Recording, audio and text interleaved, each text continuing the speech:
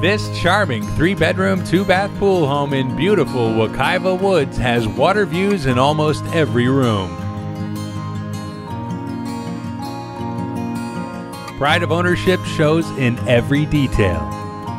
Zoned for the A rated Apopka High School District and located close to shopping, entertainment, and convenient access to the Beltway.